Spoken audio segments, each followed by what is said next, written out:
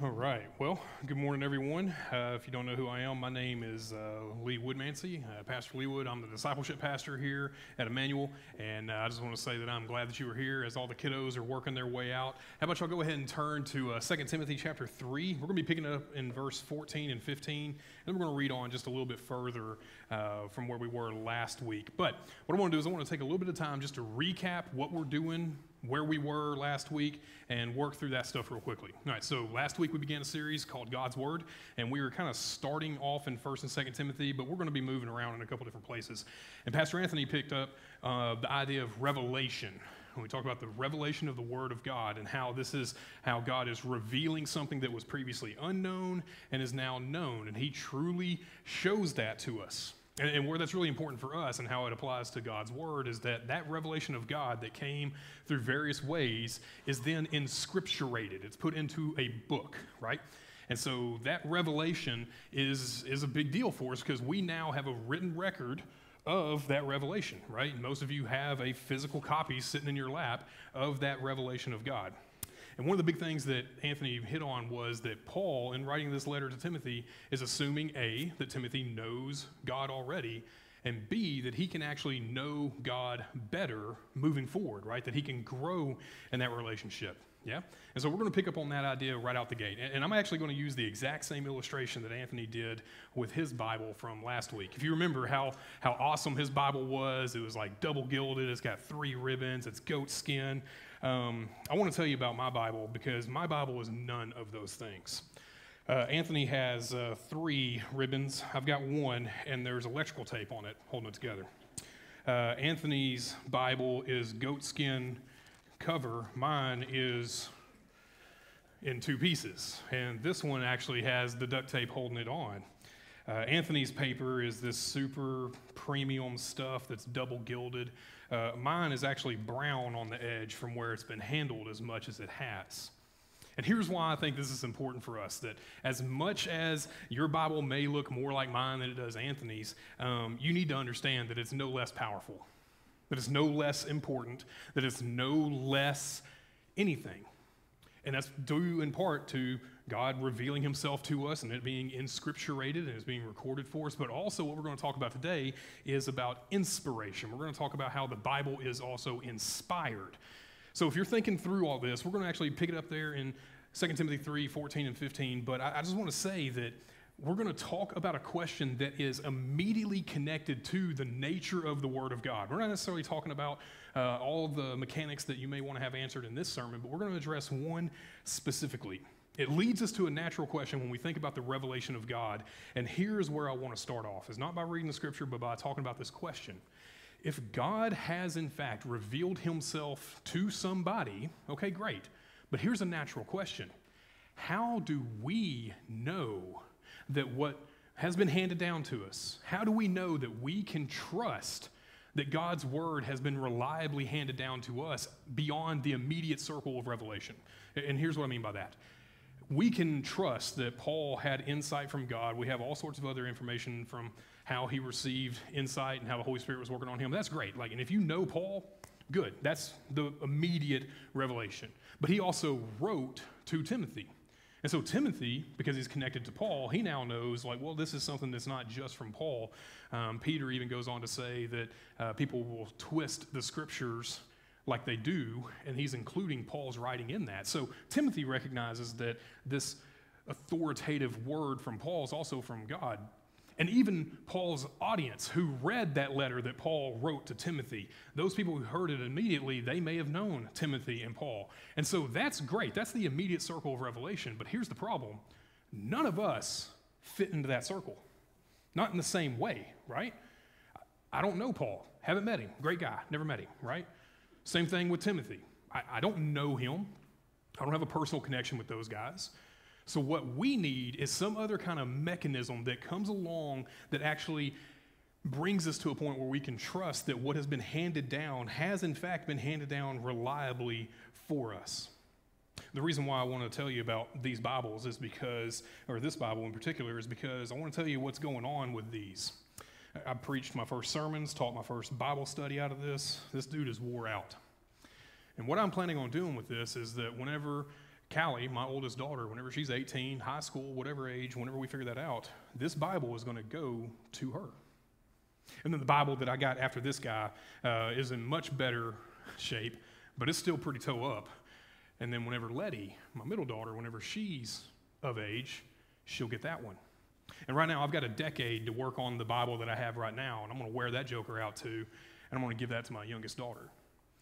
And so you see that what I want them to do is I want them to immediately receive what I am giving to them because they have a relationship with me and there's meaning right there. I want them to receive it. And that's a cool gift.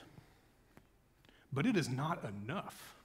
What I really want for them is for them to dive into the content of what's on these craggly pages, right? That are dirty and barely held together. I want them to see the value of what is in there not because of the relationship they have with me and my notes, but rather because they have a relationship with the Lord and they have seen that it comes from Him and not from me. Are you tracking with that? Like, that's what I want for them. And so, whenever we answer this question of how do we know, well, the answer to that is found in 2 Timothy chapter 3. We're going to pick it up in verse 14. So, let's read that for us right now. If you would throw that up there for me, if you don't mind. 2 Timothy chapter 3, picking it up in verse 14 as my iPad restarts. This is what Paul writes. He says, But as for you, Timothy, continue in what you have learned and have firmly believed, knowing from whom you have learned it. You see the relational aspect? He connects, hey, you heard this, but you, you got to learn it and move beyond it. Whom you have learned it from, and how from childhood you have been acquainted with the sacred writings, which are able to make you wise for salvation through faith in Christ Jesus. That was last week. This is this week. Verse 16. All scripture is breathed out by God and profitable for teaching, for reproof, for correction, and for training in righteousness, that the man of God may be competent, equipped for every good work. Whenever we look at 2 Timothy and we start looking at this, this document that is sent from Paul, this letter that's written to Timothy, we can trust that there is revelation there, but what we need to see is that it is also inspired. And so, what I'm going to pray for right now is that we would feel that even today as we are hearing the rest of the sermon. So, let's pray together. Let's pray over our time for this morning. Let's do that. Father, I thank you that you have, in fact, given us your word and that you have, in fact, brought us to a point where we can comprehend what it says and that we can know truly that this is you speaking to us through your word. And so, Father, I pray that that would be made clear throughout the rest of the sermon. I pray that you would send your spirit to be able to help us understand what it is that you have recorded for our benefit. And Father, I pray that as we are working through this, that you would give us your personal word and your presence to us through your spirit, and that you would do the work that I cannot do. And as is my custom, I would just ask that you would pray for me, that you would pray that the words that I say would be beneficial, that the words that I say would be accurate, and that they would uh, make sense all along the way. If you would, take a moment and pray for me, if you would.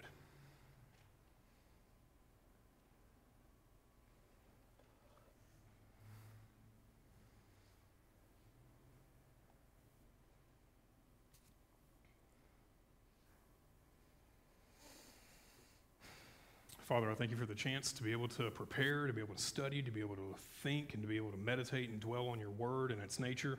And Father, I know that right now what I need is your help in understanding exactly what it is that you have written for us. And so, Father, I pray that as you um, are doing your work, God, that you would give me clarity of thought, that you would give me everything that I need to be able to speak well during this time. And we pray all this in your Son's name. Amen. Amen. All right, so I've already kind of spilled the beans, let the cat out of the bag about what we're talking about. We're talking about inspiration. So I want to go ahead and give you the main idea. Go ahead and write this down if you're taking notes. This is the main idea of the whole sermon. What Paul says, especially in uh, verse 16 of chapter 3 here, he says that all scripture is inspired by God. It's breathed out or it's God breathed, your translation may say. Uh, the reason why we use that phrase inspired is because that's from King James. Uh, what King James says is that all of the scriptures are inspired of God. And so that's why we use this term of inspiration. And the word that Paul actually uses there, he probably just made it up. He's using two words and he just jams them together for the word for God and the word for breathe. And Boom. It's God breathed. That's how we get it. And so, what we need to talk about is not just the idea of how this happens. We'll handle this in a bit, but I want to talk about what exactly this means. And so, I want to actually define for you what inspiration is. I'm going to give us a working definition that we're going to use for the rest of the morning. So, write this down. When I say the inspiration of the Word of God, this is what I mean. I mean that there is this superintending of the Holy Spirit, this superintending the Holy Spirit sits above and he makes sure it operates exactly as he wants. It is this superintending of the Holy Spirit over human authors so that their writings are an accurate record of God's revelation, right? Because that's the question that we have before us. How do we trust beyond that immediate circle of revelation that what we have is authoritative, that what we have is accurate? Well, the answer to that is the inspiration of the Word of God, that the Holy Spirit is sitting above this process and He is working through human authors so that we get what we have in our lap right now. Does that make sense? And so, whenever we talk about this, we're necessarily going to be talking about dual authorship um, of the Bible. Let me just kind of explain what this means. Whenever we ask the question, who wrote the Bible? An answer that should pop to your mind is if we're reading 1st or 2nd Timothy, is well, Paul, because he wrote those letters, and that would be great. Or Luke, or Matthew, or any of the books of Moses. So we would say Moses wrote that. And that would be correct. But we also have to say that not only did men write the Bible, but God authored the Bible. It is a cooperative work between man and God, and that's what we call dual authorship. Um, I know for our kids, we've done a catechism, and I've talked with Pastor JP and Pastor Anthony. They have different catechisms they use for their children, and there's different ways of formulating this, but the question of who wrote the Bible is some answer that sounds like a holy God using holy men. Is this making sense? Like, if we are approaching Scripture and we are going to say that it is in fact authoritative, then we have to have an answer for why. And what I'm saying is the inspiration of the Word of God helps answer that.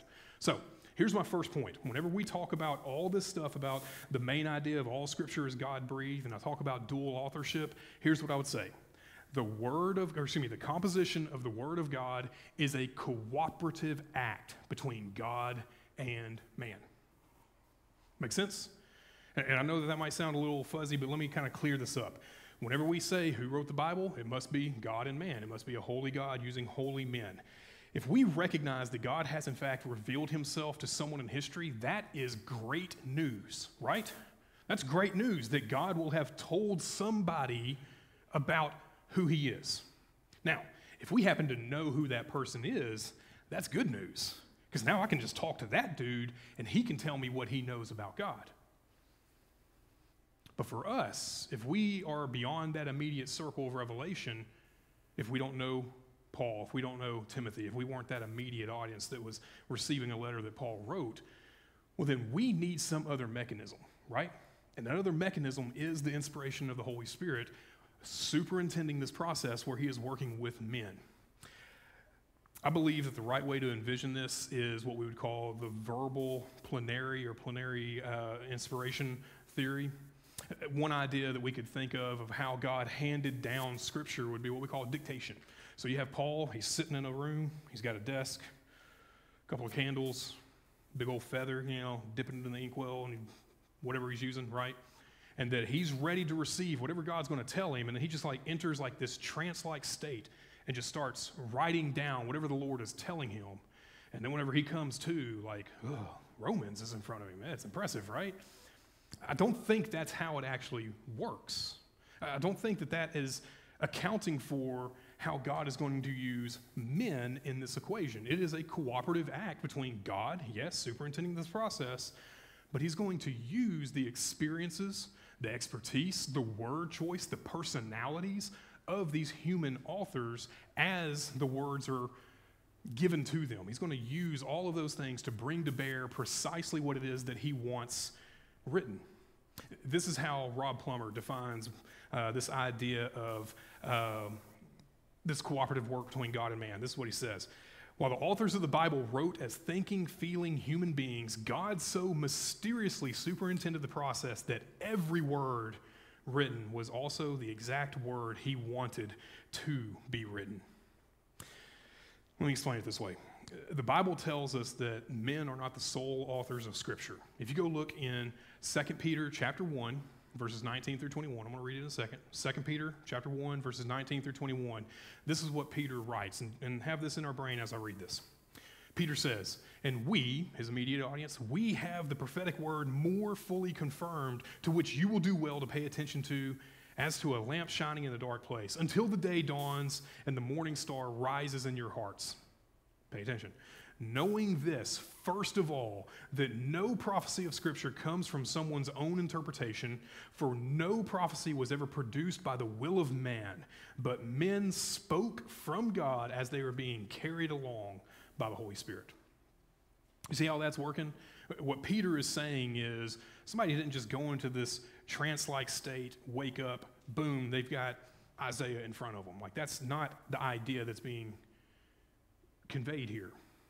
God is using the personality, expertise, and all those different elements that we would have um, that we bring to bear. Let me illustrate this in Scripture another way. In Amos chapter 7, uh, there's this minor prophet. He's from the place called Tekoa. He's a country bumpkin from nowhere, fell off the turnip truck, right? He's a farmer, and he ends up going to the northern kingdom, and he is going to pro- proclaim the Lord's message to them. He's going to be speaking truth to power. And this is what Amos chapter 7, verses 14 through 16 say. And then Amos answered and said to Amaziah, who was the high priest up there, I was no prophet nor a prophet's son, but I was a herdsman and a dresser of the sycamore figs. But the Lord took me from following the flock, and the Lord said to me, Go, prophesy to my people Israel. Now, therefore, hear what the Lord, word of the Lord is. You see that Amos was saying, I'm not a prophet nor the son of a prophet. He's a prophet, right? But, but you get what he's saying is, this is not my profession. This is not what I did. I had goats, I had trees. That's what I had. And God called me and said, Go up there and speak my word to my people. What I think is going on here is that the Lord is using every experience, every expertise, every personality trait and quirk about the biblical authors, and He is using those to bring out the message that He wants to have communicated. And we see that from Amos to Amaziah to the northern kingdom, even though he wasn't the guy who was super well trained in this. Okay? Now, let me explain it this way. Um, before Christmas break, my oldest daughter had to write a paper uh, about a state um, within the union, and so she decided to write uh, a paper on Arkansas. You know, state bird, only state that has diamonds, all these other unique facts. Uh, and I can say just authoritatively, um, having lived here for two years, Arkansas is superior to the Show Me State in every way. Don't at me. You can catch me later. We'll fight about it then, right? It's a fact. I got the mic, okay? So after that paper was turned in, Callie was given some corrections. Here's some punctuation. Here's some spelling errors. Here's some of this other stuff. And she was supposed to correct that. Now, suppose for a moment that I then grab that paper and I make those corrections. And because I know more about Arkansas, I start infusing some of my own ideas into it. In fact, what I'm probably going to do is end up changing the tone. I'm going to use different words. I'm going to spell things correctly. Eh, maybe, right? But here's my point just because that I would be writing that as opposed to my daughter, that doesn't change the fact that the content is correct. But what it does show is that somebody else is involved in this process, right? It shows that there is clearly a difference in tone and content and all that good jazz. But here's why it really matters. When we run across reading Paul in Philippians, man, things are great about joy and rejoicing. And we're like, ah, that's the book for me right there. Short, to the point, roll, man, this is great, roll on. And then you go read Galatians, and he's like, You foolish Galatians, who bewitched you? Y'all need to quit being cowards and cutting around and cut through. If you know, you know. Paul's tone is radically different. And we have a problem with that for some reason because it doesn't cohere in our minds with, well, this is what I expect from Paul. But here's what the real problem is. When we start looking at those comparisons and we start making uh, these really close comparisons, what we actually end up doing a lot of times is we create this hierarchy of biblical books that we say, ah, this is the one we really need. And then we'll throw Job way down here, right? We'll put Ecclesiastes down there because who wants to read Lamentations? Right? Don't lie to me. We do that, right? A lot of times we can just kind of put in our mind these are the books that are the good ones. But what Paul is saying is that all Scripture is breathed out by God, and what we're going to see is all Scripture is useful. Now, what's incumbent upon us is when we see these different authors and these different tones, it's incumbent upon us to understand why. What is going on? Word? All right, so here's the first application. Don't make these hierarchy of books that you think are better or others that are worse. What Paul says is that all scripture is breathed out by God. Word? Right, that's main point number one. Let me give us our second one. We just addressed like the human component of what it looks like with men and their experiences and word choice and all those good things coming into the fray. But now we need to address the, the, the divine side of dual authorship that it was written by God and man, right? Since we know that God is involved in this process of revelation and inscripturation, well, then we can start making a couple of different um, assertions about that. And here's the next thing you need to write down the Word of God is trustworthy because its source is thoroughly reliable, right? we might say that, well, Paul may have messed something up. He may not have heard correctly. Okay, well, then to that, I would give you the Holy Spirit superintending of this process so that nothing is going to be out of sorts in any way. It's going to be precisely what He is after. Are you tracking with that? Like, this is where we have to hold both humans and a divine source of the Word of God. The Word of God is trustworthy because its source is thoroughly reliable. If we return back to that central issue of how do we know, well, then we've got to have a reliable source. How do we know that revelation for me today is the same as it was for them and it's reliable, we have to have divine authorship there. I, I think we can trust in divine authorship uh, with all sorts of other verses in Scripture. We literally do not have time to get through that. I had to cut all that out.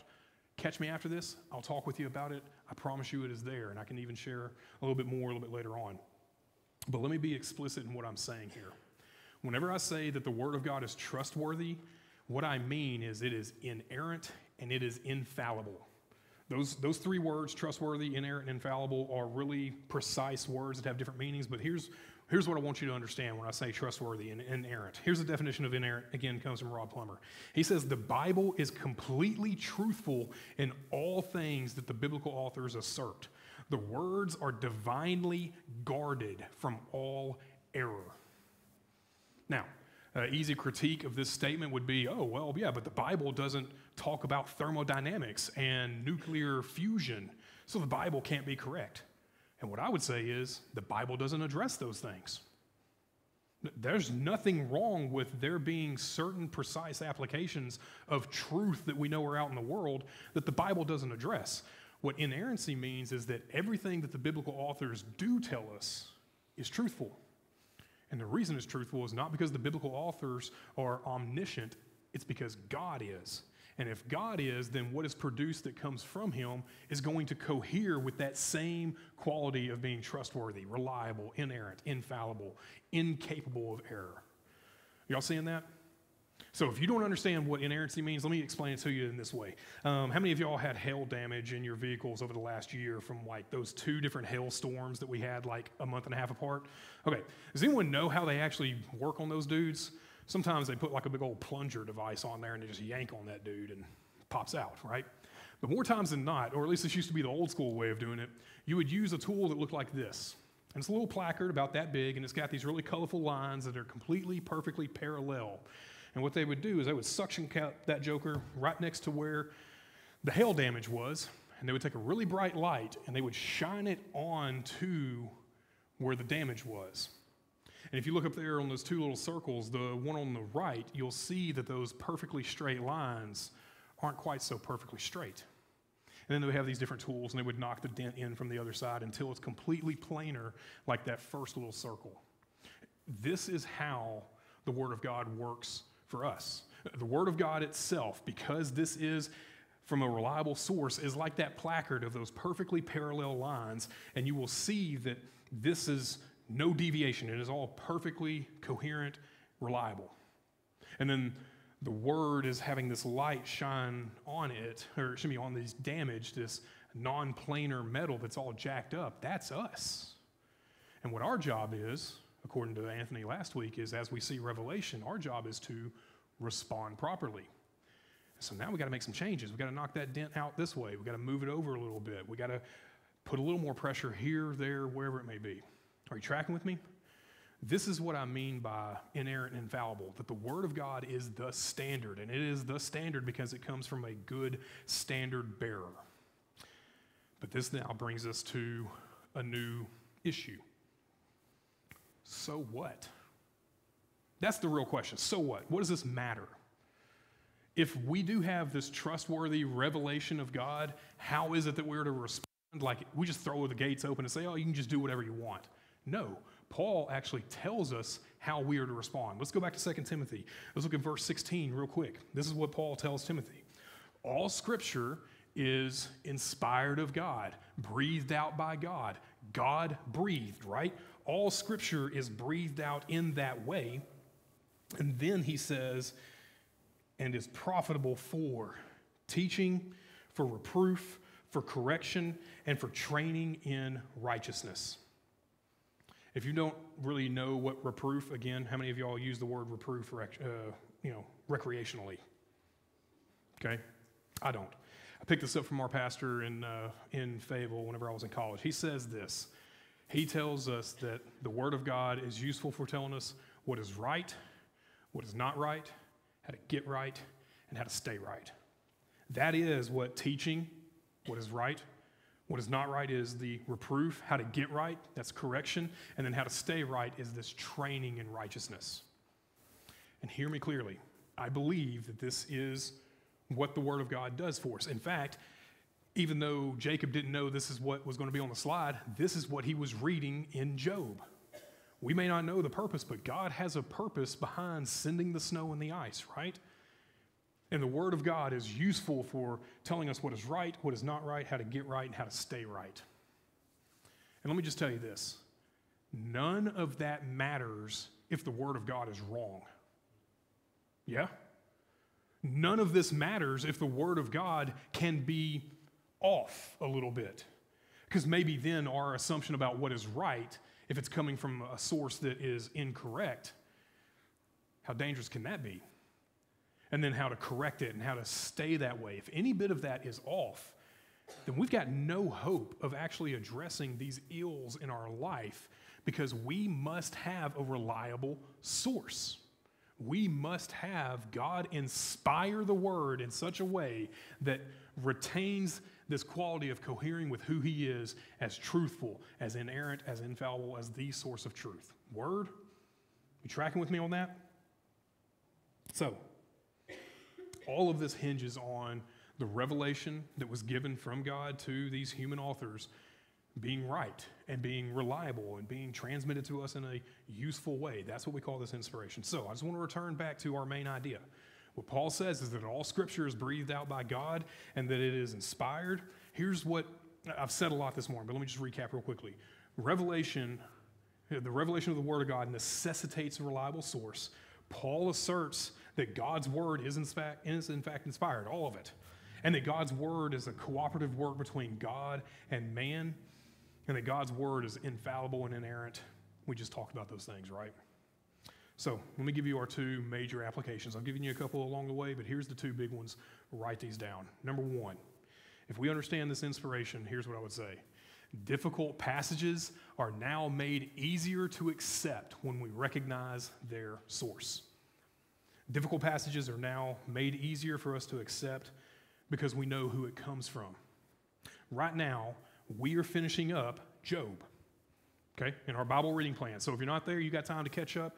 It's a great, great ending. I'll say it that way. Horrible beginning, a whole lot of weird stuff in the middle, but at the end, it starts getting a little more clear. But let me go ahead and spoil it for you. Uh, Job never finds out why he suffered. Job doesn't find out. Take it a step further.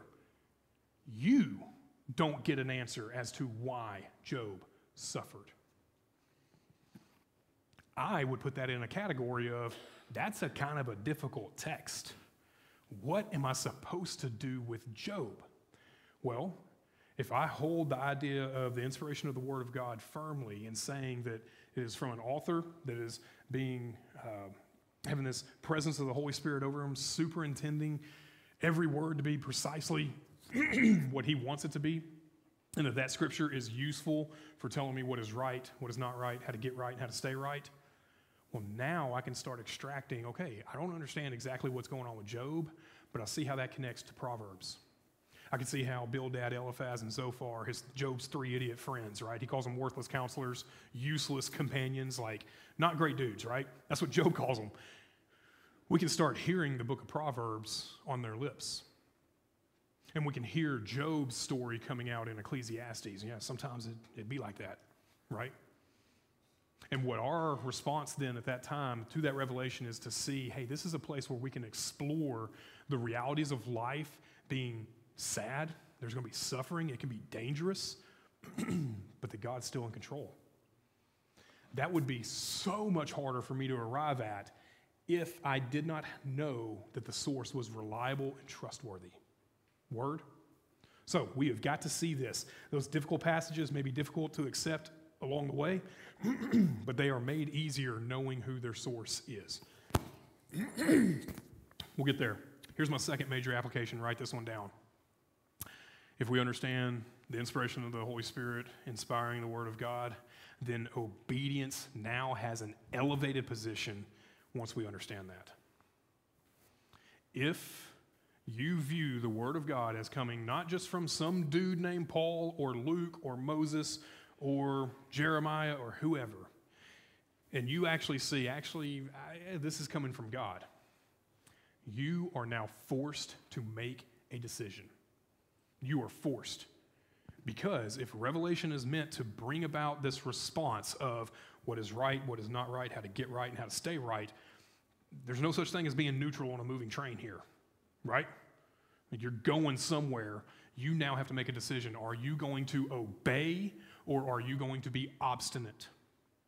Now, that obedience may very well be you intellectually need to change your mind. Some new information was given to you. I now have to respond to that and say, actually, I accept that. It might be that you are encouraged in something that you already know.